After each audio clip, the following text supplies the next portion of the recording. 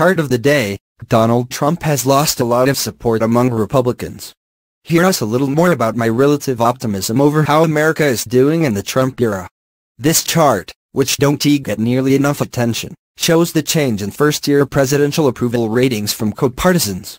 That is, it shows Democratic approval of Democrats and Republican approval of Republicans, after an admittedly wild first year in which he disappointed liberals with his budget, gays in the military, and a missile attack on Iraq. Bill Clinton ended 1993 exactly where he started.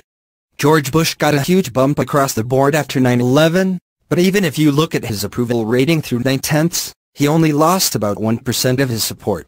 In 2009, during a brutal recession, Obama lost 3% of his support by the end of the year. Donald Trump has lost 8% of his support among Republicans. During a strong economy. I know these seem like small numbers, but they remain meaningful.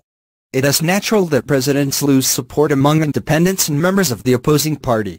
Many of them want to give the new president a chance, and then slip away as politics takes its natural course.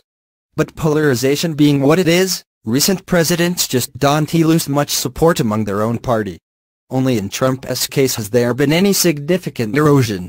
Losing the support of people who probably didn't vote for you in the first place don't mean too much.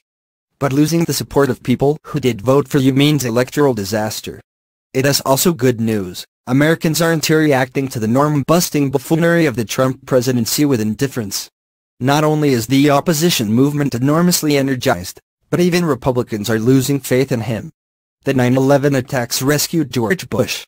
Something similar could still happen with Trump, so this is hardly a call to breathe a sigh of relief.